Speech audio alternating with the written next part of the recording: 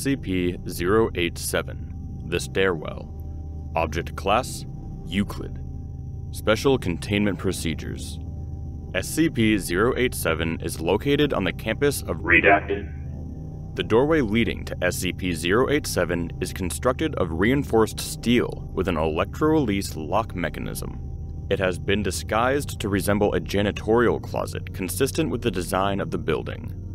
The lock mechanism on the doorknob will not release unless the volts are applied in conjunction with counterclockwise rotation of the key. The inside of the door is lined with 6 centimeters of industrial foam padding. Due to the result of the final exploration, see document 0874, no personnel are permitted access to SCP-087. Description SCP-087 is an unlit platform staircase Stairs descend on a 38 degree angle for 13 steps before reaching a semicircular platform of approximately 3 meters in diameter. Descent direction rotates 180 degrees at each platform. The design of SCP 087 limits subjects to visual range of approximately 1.5 flights. A light source is required for any subjects exploring SCP 087 as there are no lighting fixtures or windows present. Lighting sources brighter than 75 watts have shown to be ineffective as SCP-087 seems to absorb excess light. Subjects' report and audio recordings confirm the distress vocalizations from what is presumed to be a child between the ages of and the source of the distress calls is estimated to be located approximately 200 meters below the initial platform. However, any attempts to descend the staircase have failed to bring the subjects closer to the source. The depth of descent calculated from Exploration 4, the longest exploration, is shown to be far beyond the possible structure of both the building and geological surroundings. At this time, it is unknown if SCP-087 has an endpoint. SCP-087 has undergone four video-recorded explorations by Class D personnel. Each subject conducting an exploration has encountered SCP-087-1, which appears as a face with no visible pupils, nostrils, or mouth. The nature of SCP-087-1 is entirely unclear, but it has been determined that it is not the source of the pleading. Subjects exhibit feelings of intense paranoia and fear when faced with SCP-087-1 but it is undetermined whether said feelings are abnormal or simply natural reactions. Addendum Over a period of two weeks following Exploration 4, several members of the staff and students from Redacted campus reported knocking at a variable rate of 1 to 2 seconds per knock coming from the interior of SCP 087. The door leading to SCP 087 has been fitted with 6 centimeter thick industrial padding. All reports of knocking have ceased. Authorized personnel may refer to documents 0871 through 0874 for transcripts of explorations 1 through 4. Document 0871 Exploration 1 D8432 is a 43 year old Caucasian male of average build and appearance and unremarkable psychological background. Class D designation is a result of demotion due to mishandling of SCP. D8432 is equipped with a 75 watt flood lamp with battery power capable of lasting 24 hours, a handheld camcorder fitted with a transmission stream, and an audio headset for communication with Dr. at control. D8432 steps through doorway onto initial platform. Despite the wattage, the flood lamp only illuminates the first nine steps. The second platform is not visible. It's dark. Is your flood lamp functioning properly? D8432 shines the light out the door and into the academic building's hallway. The light reaches significantly further. Yeah, it's working. It just won't light these stairs all the way down. Thank you. Please continue. D8432 descends for 13 steps before reaching the second platform. The platform is in the shape of a semicircle with an apparently concrete surface and walls. There are no distinct markings aside from nondescript patches of dust, dirt, or wear consistent with that which is found in a typical concrete stairwell. D8432 rotates 180 degrees to begin descent down the second flight, then pauses. Reason for stopping? You hear that? There's a kid down there. Sounds like one. None of the described audio is feeding through the camera or mic at this time. Could you please describe the sound? It's young, either female or a very young boy. It's crying and sobbing and saying, Please help. Please. Yeah, it just keeps repeating that and crying. Can you estimate its distance from your current location? Uh, I don't know, maybe 200 meters down? Please continue down the next flight. The subject descends another 13 steps. As he reaches the landing, audio of the child as described is picked up. The child alternates between sobbing, wailing, and the words please, help, and down here. The level of audio is consistent with D8432's report of it being approximately 200 meters below. Can you still hear the crying? Yeah. We're picking it up as well. Please continue down. Stop if you notice any changes in the audio or environment. The subject descends another three flights of stairs before stopping. Keep going. Please. D8432 continues another 17 flights, total of 22 flights, before stopping. There are no visual changes in the environment, and each flight has been a consistent 13 steps. I'm not getting any closer to the kid. Stereo audio confirms that the crying noise has not increased in volume and remains approximately 200 meters below the subject. Noted. Please continue. The subject continues another 28 flights before stopping, 50 flights total. D8432 is standing on the 51st landing, counting the initial ground level landing. D8432 is estimated to be 200 meters below the initial platform. 34 minutes have elapsed. The volume of the crying has not increased. I feel a little uneasy. You've spent a long time in a dark, unknown stairwell. It's natural. Please continue. The subject hesitates before stepping down on the next stair. As the subject moves forward, the flood lamp illuminates a face located approximately at the bottom of the flight, SCP 087 1. It appears to be the same size and shape as a human head, except it's lacking a mouth, nostrils, and pupils. The face is completely motionless but is making direct eye contact, indicating its awareness of D8432. What the is that? Holy what the Can you please describe what you see? It's some sort of person face thing and it's looking right at me. It's looking right at me. Is it moving? no, it's just staring at me.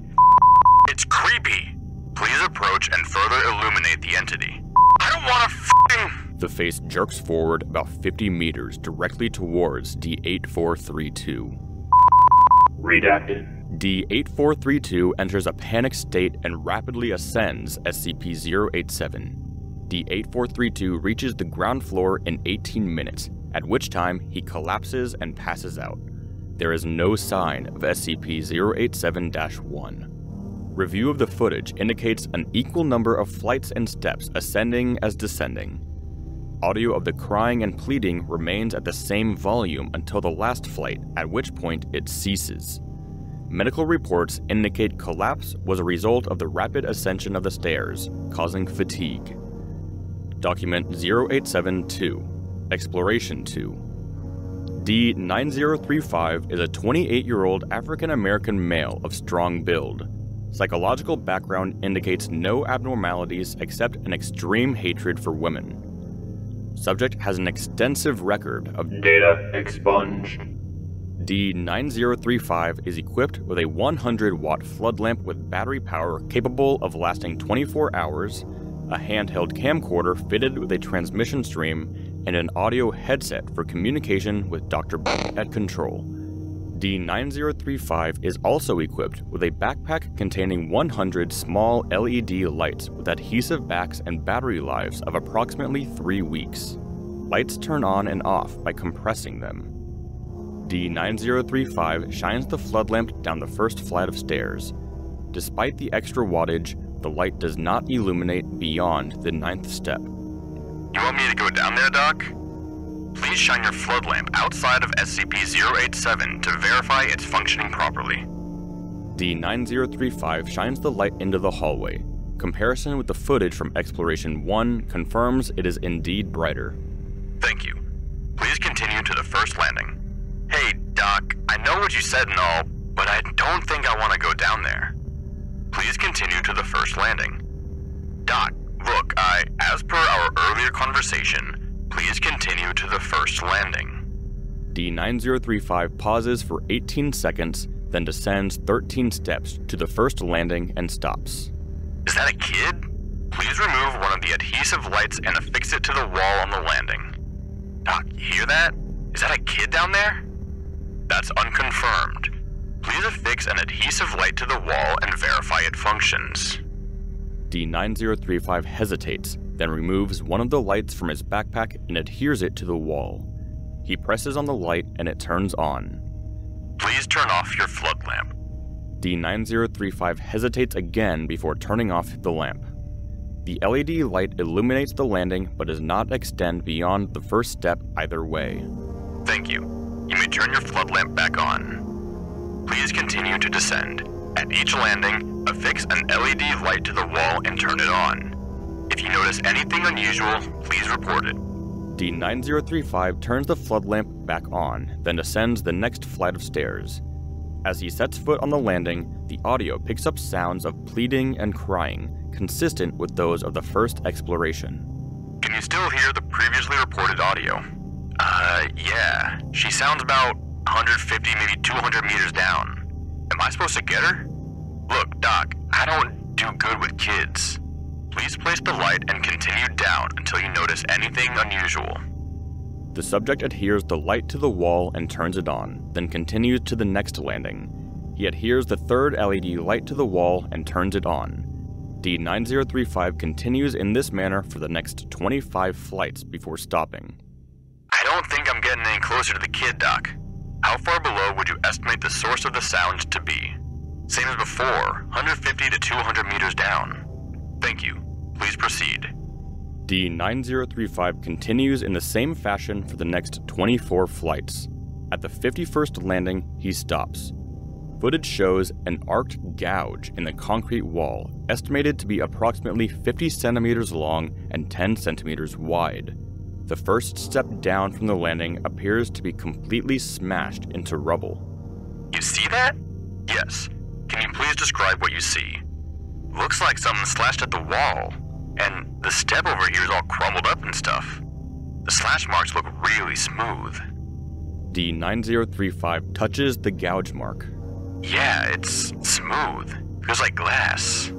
Thank you. Please continue down. Look, Doc, I think I've gone far enough. Please continue as per our agreement. I don't want to be doing this, agreement or not. Data expunged. D9035 steps over the destroyed step and continues down the staircase. Nothing is notable at the next landing. D9035 adheres an LED light to the wall and continues in the same fashion for another 38 flights. The sound of the crying and pleading still has not gotten closer. D9035 is on the 89th landing, and 74 minutes have elapsed from the beginning of the exploration. Subject is estimated to be 350 meters below the initial platform. I feel like the kid's just trying to lure me down there, Doc. I think it's time for me to. D9035 stops talking and moving as the flood lamp illuminates SCP 087 1. The face is staring directly at D9035, again indicating awareness of the subject's presence. Although SCP 087 1 appears to be unmoving, its location is 38 flights below the initial encounter in Exploration 1, indicating it is mobile. Is there a reason you've stopped? D9035's breathing grows labored. SCP 087 1 remains immobile for an additional 13 seconds. SCP 087 1 blinks. D9035 yells incomprehensibly. SCP 087 1 jerks forward until it's approximately 90 centimeters from D9035. Subject turns and flees up the stairs. Please relax and calm down. Turn around. We need a closer look at the face. D9035 ignores Dr. and continues rapid ascent. He continues to scream incomprehensibly. D9035, can you hear me? Please slow down. D9035 is unresponsive and continues rapidly climbing the stairs. His screaming diminishes to babbling. After ascending 72 flights, D9035 collapses on the 17th landing. D9035, can you hear me? D9035 is unresponsive, but labored breathing can be heard through the audio feed. For the next 14 minutes, D9035 is immobile. The visual feed is black, and audio picks up only the subject's breathing and the continuous pleading coming from below. After 14 minutes and 32 seconds of unchanging visual and audio feeds, the sound of a rapid heartbeat, not consistent with a human heartbeat, and a low cracking noise is heard. Seven seconds later, D9035 gasps and revives, continuing his ascent of the stairs rapidly and wordlessly. The heartbeat and cracking cease, and nothing abnormal is detected on the visual feed. He remains unresponsive. D9035 exits SCP 087 and sits on the floor outside of the entrance. D9035 then enters a catatonic state from which he has not yet recovered. Document 087 3 Exploration 3 D9884 is a 23 year old female of average build and appearance. Psychological background indicates a history of depression. Subject has a minimal record of using excessive force to Data expunge. D9884 is equipped with a 75 watt flood lamp with battery power capable of lasting 24 hours, a handheld camcorder fitted with a transmission stream, and an audio headset for communication with Dr. at control. D9884 is also equipped with a backpack containing 3.75 liters of water, 15 nutrient bars, and one thermal blanket. D9884 stands on the ground level landing of SCP 087. The flood lamp illuminates only the first nine steps. LED lights placed on the wall during the last exploration are not visible. Please descend the first flight and examine the landing wall. D9884 descends 13 steps and stops at the landing. There is no trace of the LED light at the location. Footage from Exploration 2 indicates it was placed. Yeah, um, it's just a dirty concrete wall. There's like nothing on it. No, wait. It's a little bit sticky right here. D9884 indicates the spot on the wall the LED light should have been located. There's a child crying down there. She's. she's begging for help and crying. Thank you. Please continue down the steps until you notice anything unusual. D9884 descends. Upon reaching the next landing, audio of the crying child consistent with the prior two explorations is picked up. No LED lights appear to be present on any of the landing walls. D9884 continues with no incident until she reaches the 17th landing. Ew, there's something on the ground here, and it smells really bad. It's all sticky and stuck on my shoe. Ugh, so gross. Video feed confirms presence of substance occupying a space approximately 50 centimeters in diameter. Can you describe the scent? Uh, it kind of smells like old rusty metal and pee. Thank you. Please continue until you notice anything else. D9884 continues to the 51st landing without incident. The 51st landing remains unchanged from the previous expedition, and similar observations are made. D9884 is asked again to descend until anything unusual is noticed. Subject continues her descent until the 89th landing is reached. The video feed jerks and the subject yells. There's a hole in the ground. I, I almost fell in. Video feed confirms the presence of a hole approximately 1 meter in diameter. The subject shines the floodlight down, revealing only blackness. Approximately 4 seconds pass, and a light of an indeterminate distance down the hole flicks on for approximately 2 seconds and then back off. There's a light down there. It's it's gone now, but it was on for like a second. Did you see it? Yes. Can you estimate the depth of the hole? No way. It's too deep. At least a kilometer, like way more than a kilometer. Thank you. Can you still hear the sound of the child? Uh-huh. She still sounds far away. I don't feel like I'm getting any closer. It's like every step I take, she takes one down.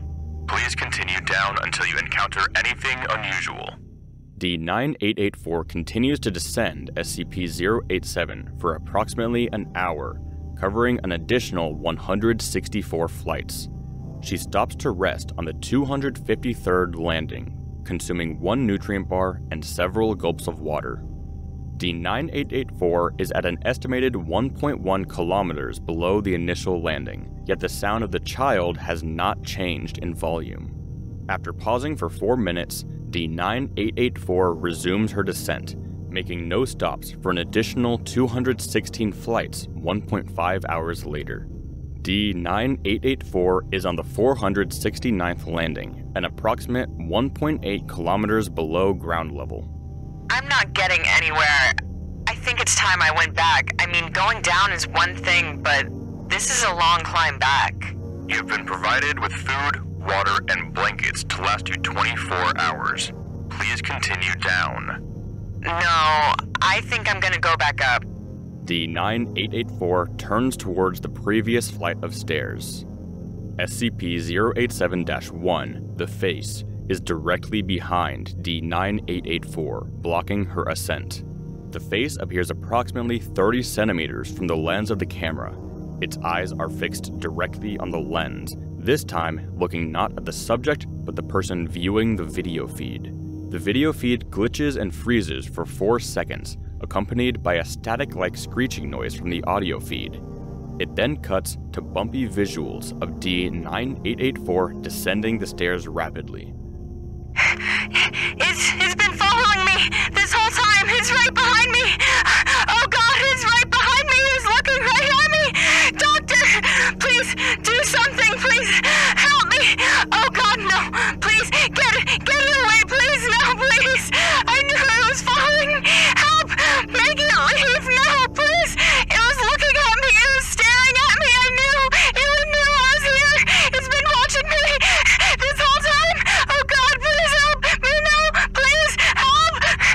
Continues in a similar fashion until the end.